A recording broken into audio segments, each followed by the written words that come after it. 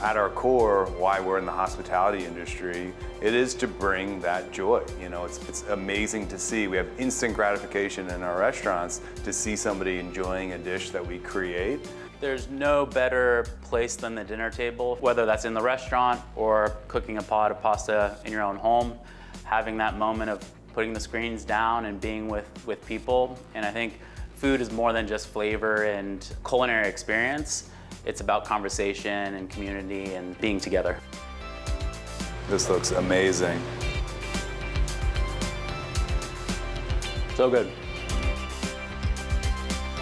Flour and Water opened in 2009, and since then we've been really, really fortunate. Quickly after opening, we realized the heart of our menu was going to be our pasta program.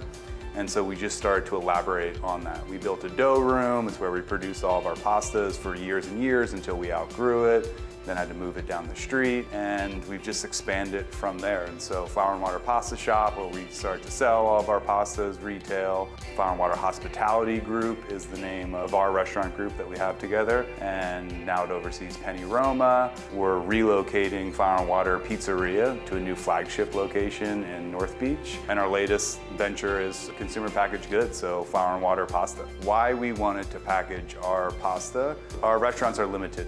We're really fortunate that they're super busy, but we can only touch a couple hundred people a day. And so we wanted to expand our hospitality, but also expand our, our impact on the world. And so the big part of flour and water pasta is to have a say in regenerative agriculture. Regenerative farming, where you're sequestering carbon in the soil, helping fix climate change, is, is really what we as, as food professionals should be doing.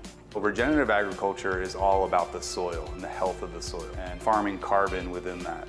And so not only is it helping the environment, but it's enriching that soil to a point where it truly makes the food taste better. And since 2015, our restaurants have supported a nonprofit called Zero Foodprint, which helps convert different farms to regenerative practices. And we're actually the first packaged food good that's going to support Zero Foodprint as well through 1% of its sales.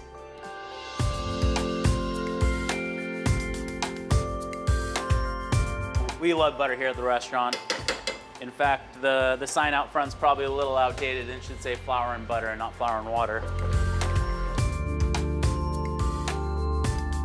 With our box pasta, there's only two ingredients. It's semolina flour and water. And so when you're dealing with something that's so fundamental and, and simple, it's important that the quality of those ingredients is the top and also how that, that wheat is farmed and where it's sourced. And so we're uh, sourcing exclusively from uh, North American grown durum wheat for our semolina.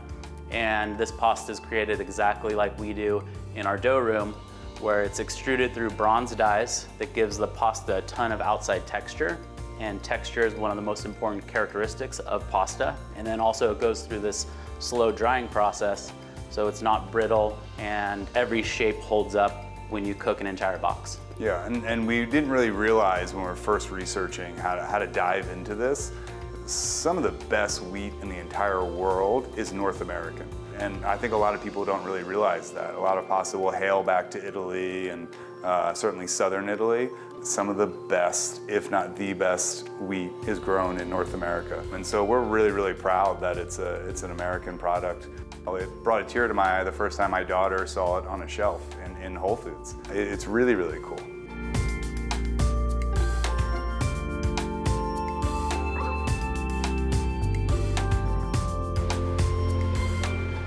So good.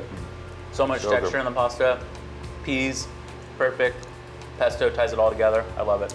I love the texture and how it grips that sauce. Nice job. So good.